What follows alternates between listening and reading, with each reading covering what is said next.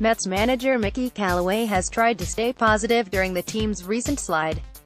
Robert Sabo It usually takes a while for a sports franchise to learn whether it has the right person to lead its team in good times and bad, someone who can make everyone believe there's hope when all seems hopeless.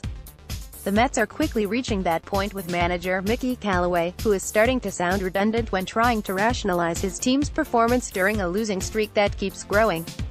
After watching the Mets drop their sixth consecutive game Sunday, a 3-2 setback to the Rockies at Citi Field, Callaway was asked what concerns him most during the slide.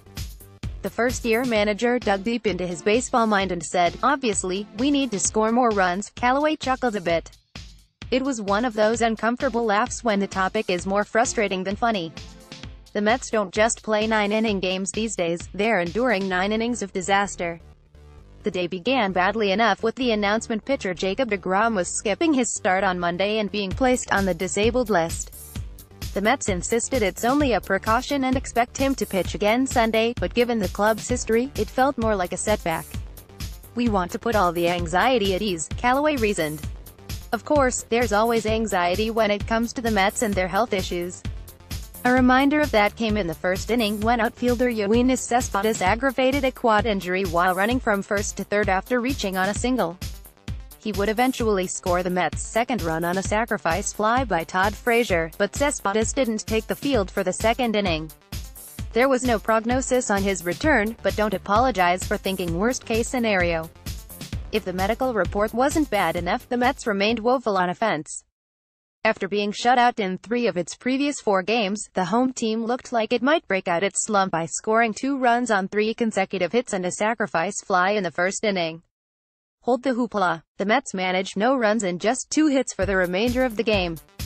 A promising 11-1 start has turned into 17-15 and feels a lot worse, which has Callaway trying to keep it all in perspective and trying to stay positive. That's what good managers do. I don't think it's a surprise, he said of the slide. I don't think it's a concern. It's just part of the game. What I try to do as the manager is look at the way we are playing the game.